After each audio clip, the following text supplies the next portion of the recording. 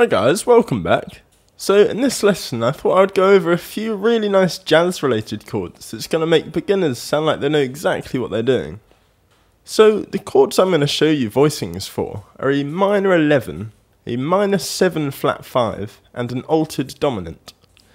Now that may sound like complete nonsense but don't panic because I'm not going to spend this lesson explaining what all of these chords mean and how they're constructed because to play them you don't really need to know, you can just learn that stuff later.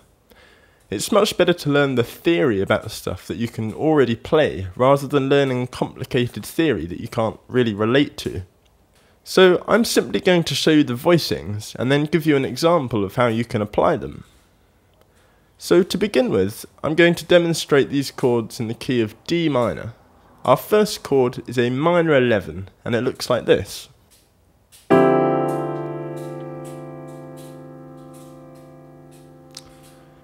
So what we have here is a D in the bass, and also the third above. And then in the right hand, we just have a C major triad. And this gives us the 7th, 9th, and 11th.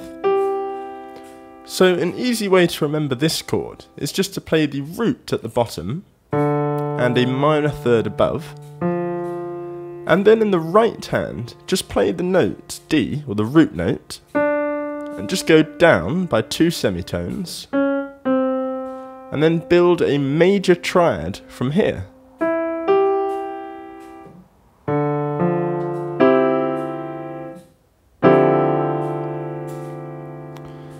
This voicing has such a nice thick sound, and you can substitute it for any straight minor chord. So moving on to our second chord, we have a minor 7 flat 5, and this is how it sounds.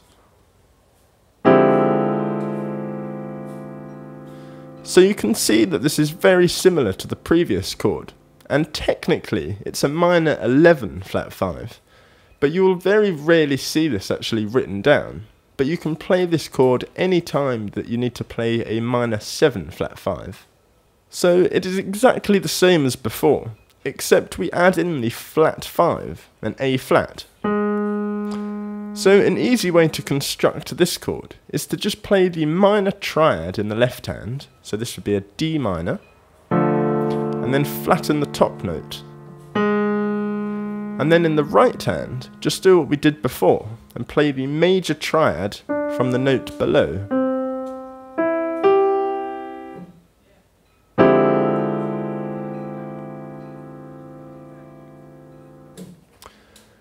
And moving on to our last chord, an altered dominant.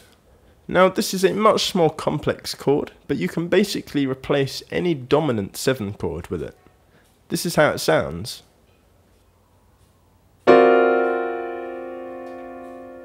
Or like this. It's exactly the same chord.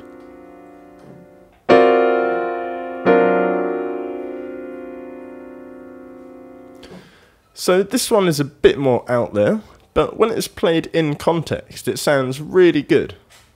So in the left hand, I'm playing the third and the flattened seventh. And in my right hand, I'm playing a B flat major triad in its second inversion.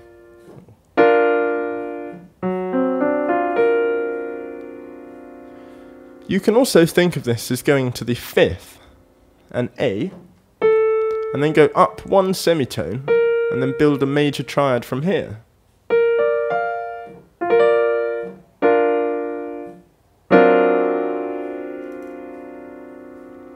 So altogether, we have these three chords. D minor 11, D minor 7 flat 5, and a D altered.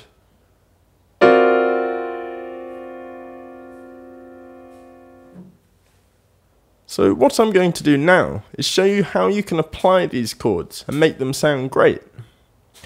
And the way we're going to do this is play what is called a minor 251. So don't worry if you have no idea what this is, it doesn't matter. But if you are interested, then go and check out my minor 251 video. So let's take our second chord, the minor 7 flat 5. We're actually going to play this in an E in E minor instead of D. So to construct this, we play an E minor triad in the left hand, and we flatten the top note.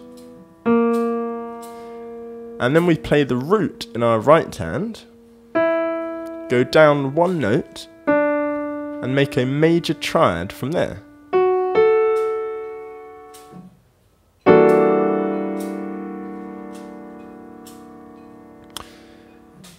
Next, we're going to play the altered chord, but this time in A, so an A altered.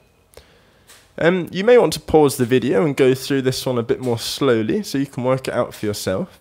But we basically have the seventh and the third in our left hand, and then we build an F major triad in our right. And maybe play it down here instead.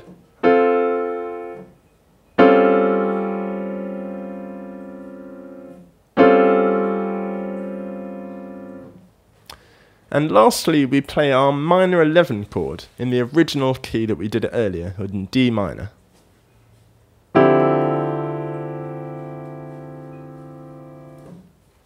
So altogether, we have this.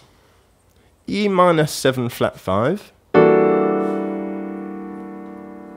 A altered, and D minor 11.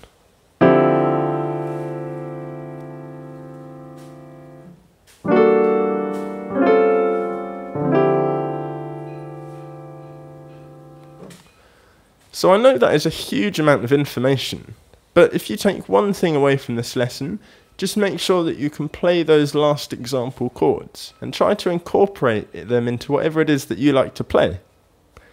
And also just play around with them. You can make them sound really funky if you want to.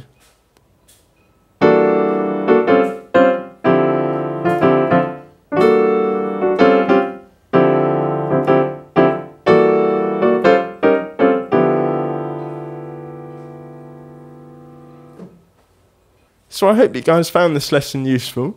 If you did, make sure to give it a thumbs up and subscribe and hit that little red bell so you don't miss any new free content.